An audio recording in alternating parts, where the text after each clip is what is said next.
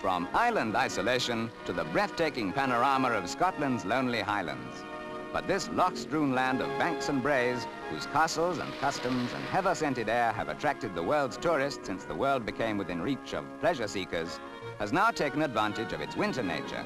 Winter sports enthusiasts now flock to Scotland. And if skiing or tobogganing isn't in their line, they can always enjoy something particularly Scottish in flavour, curling.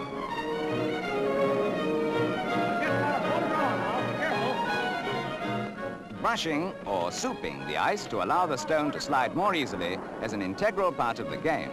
And an expert sooper is a definite asset to any rink, rink being the playing area and the members of a side. The object of the game, like bowls, is to slide your stone as near as possible to the tee at the other end of the rink.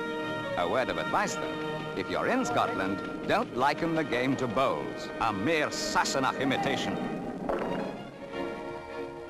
You're young enough to feel the exhilaration of winging down snowy slopes, then start from the Cairngorm peak of Scotland's Grampian Mountains and ski to your heart's content.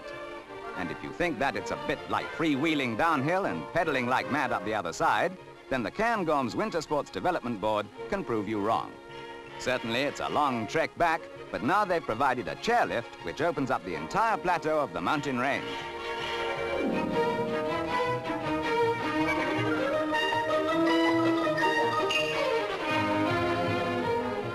The chairlift has been designed to carry 500 people an hour in double-seated chairs. Quite a feat when you consider that in 1947, only one hotelier in the area was prepared to accommodate skiers.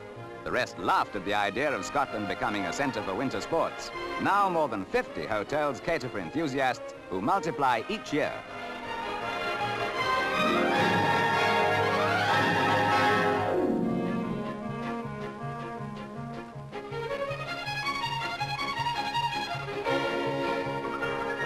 So now in Scotland, where winter once meant hardship, sportsmen can easily ascend to the level of their Swiss counterparts. And if perhaps there isn't quite the appeal that is associated with Switzerland, you at least don't have to yodel for a nice fat glass of Highland whiskey at the end of the day.